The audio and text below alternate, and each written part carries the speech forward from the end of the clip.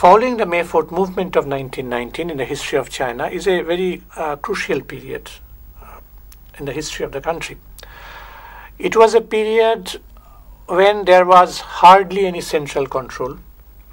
It was a period when uh, foreign aggressiveness had been going on totally unchecked. And this period was also marked by two important developments. One was the birth of the CPC in 1921, and the other was the attempt at the reorganization of the Kuomintang by Sun Yat-sen. As a matter of fact, it was these two parties, the CPC and the Kuomintang, which were to play, which were destined to play uh, crucial roles uh, in the future history of China. It has been pointed out by Immanuel Hsu that uh, Chinese intellectuals became aware of Marxism probably around the year 1905 when the journal Min Pao published a biography of Karl Marx. That was the beginning.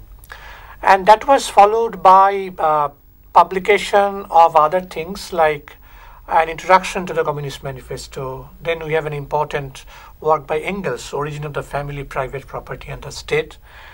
And in the later period, of course, there was uh, Lenin's imperialism, the highest stage of capitalism. Now, before that, Chinese intellectuals were more or less influenced by anarchist ideas like Bakunin, Kropotkin, Tolstoy, and others. And Mao himself, he was also very much influenced by anarchist tendencies when he did not come under the influence of Marxism. The result of all these developments was a setting up of a large number of uh, study groups, Marxist, Leninist study groups uh, in the cities, and uh, a National University of Peking was formed, as you know, and this uh, Peking University became the hotbed of radical ideas. People like Li Ta-chao, people like Chen Tu-hsiu, who wrote articles, who formed uh, study circles, and uh, many articles were published in different journals, which came out uh, during the May 4th movement of 1919. It was in May 1920 uh, that a pro communist group and a uh, socialist youth group were formed in Shanghai. Chen was the undisputed leader, no doubt about it. There, in fact, Chinese intellectuals at that time were split up into three sections, three main sections. Uh, one major group consisted of liberals, uh, but they were uh, hesitant to adopt any uh, concrete or decisive program. The second group consisted of the rightists, who were definitely uh, anti Marxist and opposed to any major change. And there was a third group, a leftist group, a radical group, uh, who apparently formed a minority, but who represented totally new ideas. And to this third group belonged at that time people like Tung Pi-wu, people like Liu Po-cheng, people like Lin Piao, Zhou Enlai, Chu Te, Chen Yi, all of whom joined the Communist Party of China. And of course, uh, Mao also played an important role, and he also belonged to the uh, third group. It was on 1st July 1921 that the Communist Party of China was formed. It was formed secretly, no doubt. Mao Zedong became the uh, secretary of the Hunan uh, Provincial Committee of the CPC. The year 1922 uh, had been a year of workers' unrest throughout the country. And together with Li San, Liu Shaoqi, and others, Mao Zedong organized uh, the coal miners at Anyuan and the railway workers. And they led the workers in a series of strikes. Uh, when Mao first visited the Anyuan coal mines, he uh, formulated a method, method of study, method of analysis, which later formed the basis of uh, communist groups, basis of propaganda work among the communist groups. And Han Suyin, in a uh, very uh, readable, important book uh, entitled The Morning Deluge, two volumes, uh, Mao Zedong and the Chinese Revolution. Uh, there she writes that unlike other intellectuals of the earlier periods, Mao Zedong was the first to go down the coal mine and see for himself the stark reality of the living conditions of the uh, coal mine workers. Meanwhile, during that period, important uh, changes had also been taking place in the international scene. And these changes also influenced the CPC to a large extent, the policy of the CPC to a large extent. In a second Congress of the Comintern, that is the Third International, uh, held in 1920, uh, Lenin came out with a thesis, which is known as the Thesis on Colonial Questions or Colonial Thesis. And there, Lenin put forward uh, his arguments on the question of the alliance with bourgeois democracy in underdeveloped countries. What should be the attitude of the Communist Party in countries which were subjugated, in countries which were dependent on imperialist countries? And in his opinion, in colonies and semi colonies, the Communist Party should enter into an alliance with the bourgeois parties. Of course, when he meant bourgeois, he meant uh, the, that section of the bourgeoisie which is opposed to imperialist domination. An alliance with the bourgeois parties, but then the Communist Party should retain their own independent initiative in their own hands. They should not merge with it. They would ally with them, but without merging with them, so that they could retain their initiative, their independent course of action in their own hands. That was Lenin's thesis, which is known as a thesis on colonial questions. Now, when the news of the thesis uh, reached the Chinese Communist Party, later, of course, in 1923, the third Congress of the CPC was held uh, in the city of Canton. And there were heated debates over what should be the policy of the Communist Party of China towards Kuomintang because Kuomintang represented the bourgeois party, bourgeois democratic party, led by Sun Yat-sen at that time. On this question, there were three distinct opinions. One view was represented by Chen Tuxiu. Chen Tuxiu was the first general secretary of the CPC. Chen Tuxiu believed that the Chinese Revolution was a two-stage revolution. The first is the bourgeois democratic stage, followed by the socialist stage. In the stage of bourgeois democratic revolution, the leadership would be given by the bourgeoisie, and so the working class should play a very secondary role and they should uh, rally behind the bourgeoisie. They should not retain any independent initiative. The initiative would be in the hands of the bourgeoisie. And then, after the accomplishment of the bourgeois democratic revolution, the second stage, that is the stage of socialist revolution, would begin. And it was only then that the working class would come to the fore to take the leadership and give uh, leadership in the uh, socialist revolution. So Chen Tuxiu was definitely in favor of an alliance with the Kuomintang, but the leadership would be given by the Kuomintang. Leadership would be given by the, would, will be given by the uh, bourgeoisie and not by the Communist Party or the working class. The second view was represented by Chang Kuo-tao. According to Chang Kuo-tao, the Kuomintang was not a progressive party. It was a reactionary party.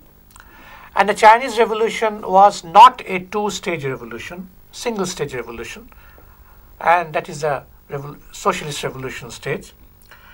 And so there is no question of forging a unity, a united front with the Kuomintang. So working class should, from the beginning, exert its leadership over the movement. There was a third opinion also, which was represented by Mao and some others. Mao Zedong criticized both these standpoints.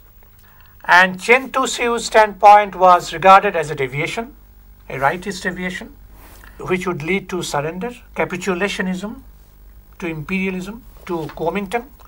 Chang Kuo-tao's dev- uh, deviation was regarded as a left deviation when the Chinese call something left, left, quote unquote left, they mean that it is left in appearance but right in content.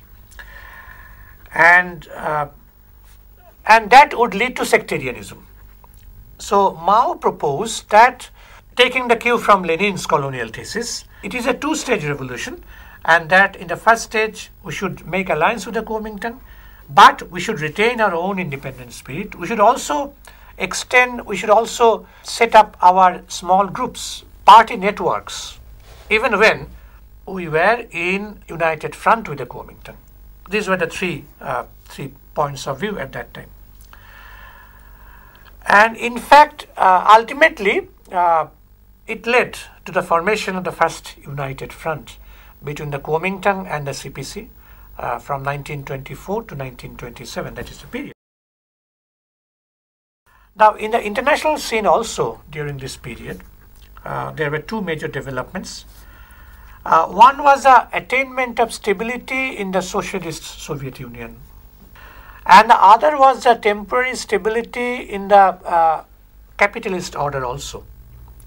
It could uh, stabilize its position also, and a period of peaceful coexistence started between the Soviet Union, between the socialist country, Soviet Union, and the capitalist world or the imperialist order. And in fact, uh, since it was a relatively peaceful period, so uh, capitalist countries could consolidate their position and started making further inroads into China uh, through their Chinese collaborators, Chinese lackeys. In the meantime, since it was a peace, relatively peaceful period, so imperialist penetration and oppression of the Chinese people went on uh, aggressively uh, inside the country. And during that period, warlordism had a phenomenal growth. The imperialist powers took advantage of the situation because there were hardly any central central power. Uh, China was totally divided, and in this way, and it was due to these factors that there was the exacerbation of the internal crisis in China. The social productive forces were seriously hampered, and uh, repression mounted, and of course, uh, anti-imperialist and anti-warlord forces also gained in strength because they started resisting foreign inroads and they also started fighting against their domestic collaborators.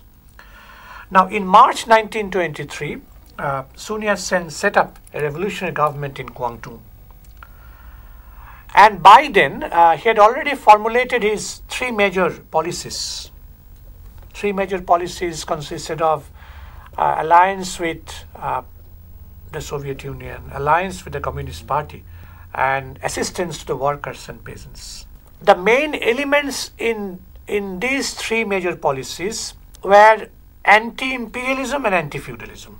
And since the Communist Party of China had also uh, within their program uh, anti-imperialist and anti-feudal approach, clear approach.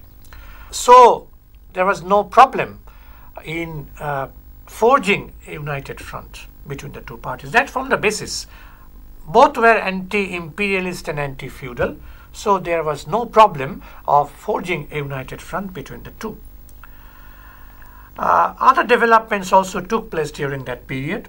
Uh, one was the signing of a treaty of friendship with the Soviet Union on 31st May 1924 uh, based on genuine equality and friendship. And the second was the formation of a revolutionary army. And a military academy was formed known as the Whampoa uh, Military Academy in Kwangtung. And there was a formation of the Kwangtung Revolutionary Army. Uh, these armies were formed to fight against northern warlords and to bring about the national unification of China. Now, that was the goal of both unification of the country. Of course, Sun Yat-sen's goal was throughout uh, to bring about the national unification of China. And in the Whampoa Military Academy, the CPC was represented by Zhou Enlai and uh, the Kuomintang was represented by Chiang Kai-shek. Military training was given uh, to the cadres so that an army was created and that would wipe out the northern warlords. These northern warlords, as we have pointed out, had been the main instruments of imperialist control inside China. It was on them that the foreign powers depended. Thus, any opposition to warlord armies implied opposition to, to imperialist control. No doubt about it. And so the revolutionary army started to march uh, from, and in, in fact, from July to December 1926, a number of provinces such as Hunan, Hubei, Fujian, Zhejiang, Jiangxi, Anhui uh, fell to the revolutionary forces.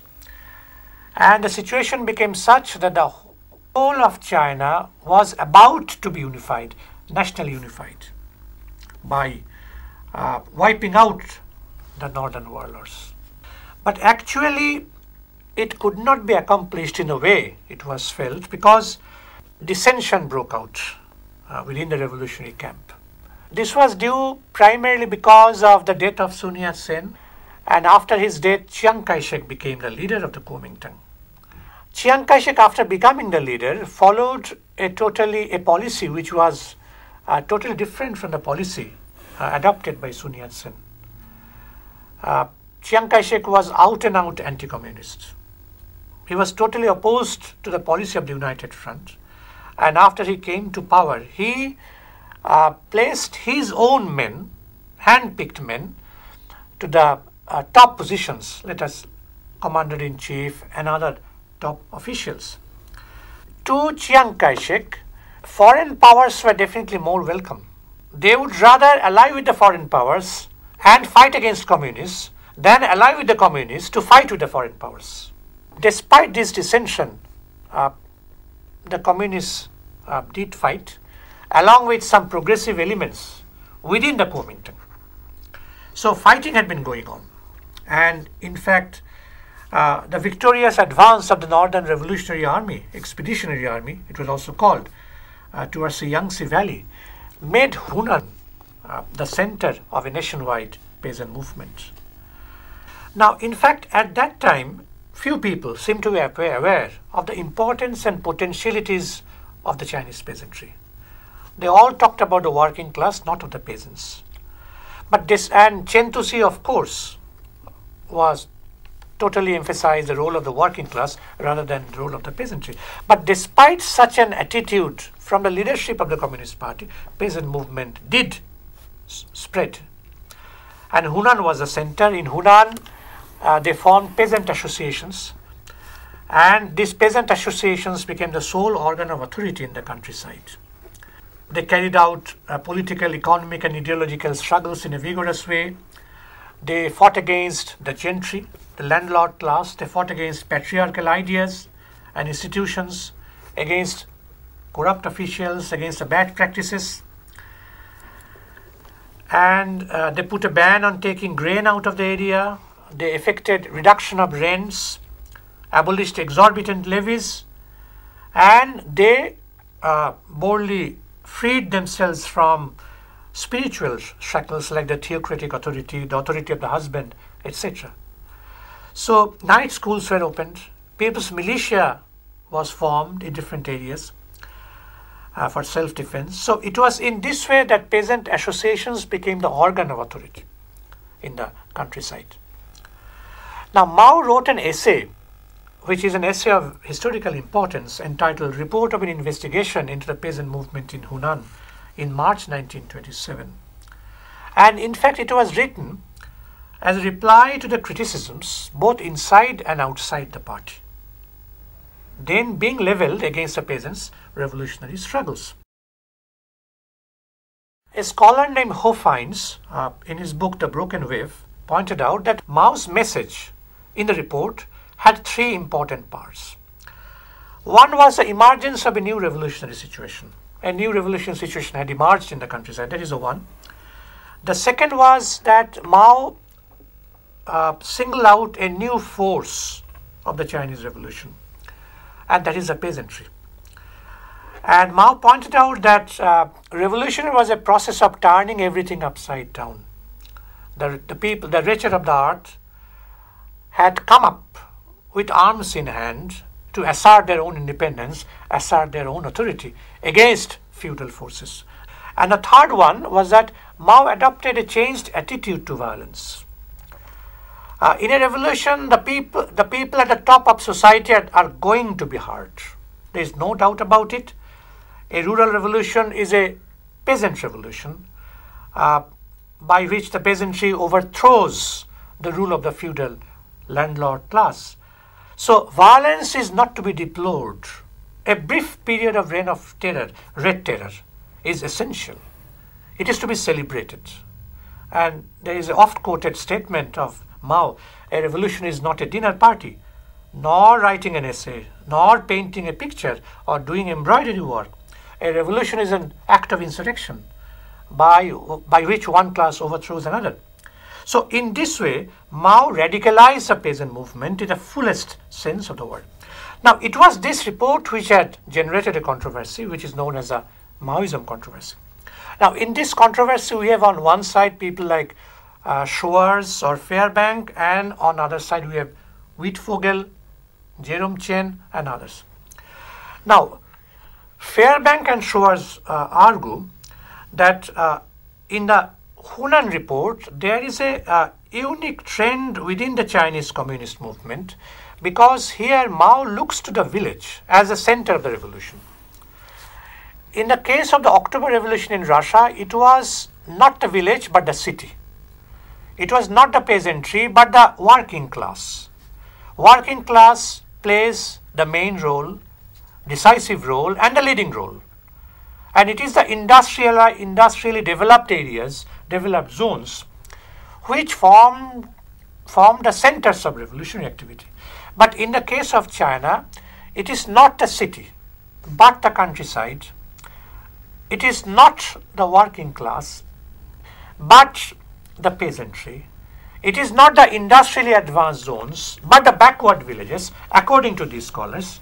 So, which are more important? So, the center of revolution has shifted, according to these scholars, to, to the countryside from the towns, and this is, uh, this is Mao's contribution to Marxism Leninism. That is their argument.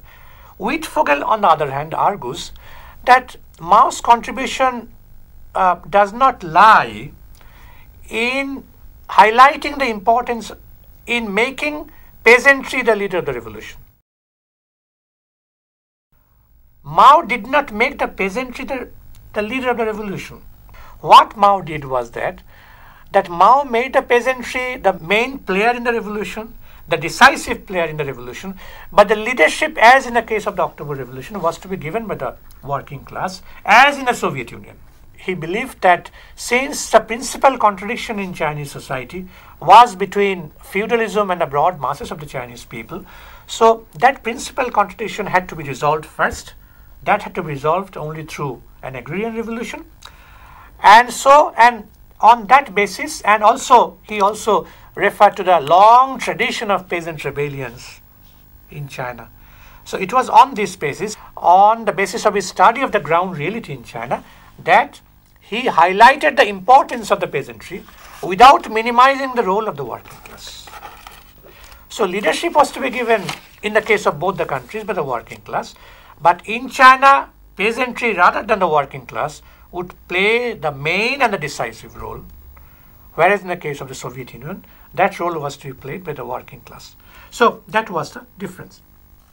The advance of the Northern Expeditionary Army was followed by an uprising of the workers in Shanghai in February 1927, and this alarmed the British, uh, Japanese, and US capitalists, and they intensified their interference in China. And Chiang Kai shek sent his own troops in April 1927 to crush the rebellion. Thousands of workers, Communist Party members, and also peasants in the countryside, they were killed, butchered, Similar massacres also took place in Nanking and Canton. Chiang set up his own government in Nanking called the Nationalist Government, consisting of right-wing Kuomintang politicians and militaries. So in 1927 there was a massacre, a large-scale massacre, and that signaled the end of the united front uh, between the CPC and the Kuomintang. China had had the tradition of peasant rebellions. So why is it why is it that none before Mao had thought of organizing the peasants? No, it is not true that Mao was the first to think about organizing the peasants. Peng Pai was there, and uh, there was uh, in he in Guangdong he had been organizing peasants. Mao was not well known. There were others also. Of course, Mao theorized it, no doubt about it. He theorized. Uh, he gave the theory of an agrarian revolution, anti-imperialist, anti-feudal revolution, but his ideas were also shared by uh, other people also.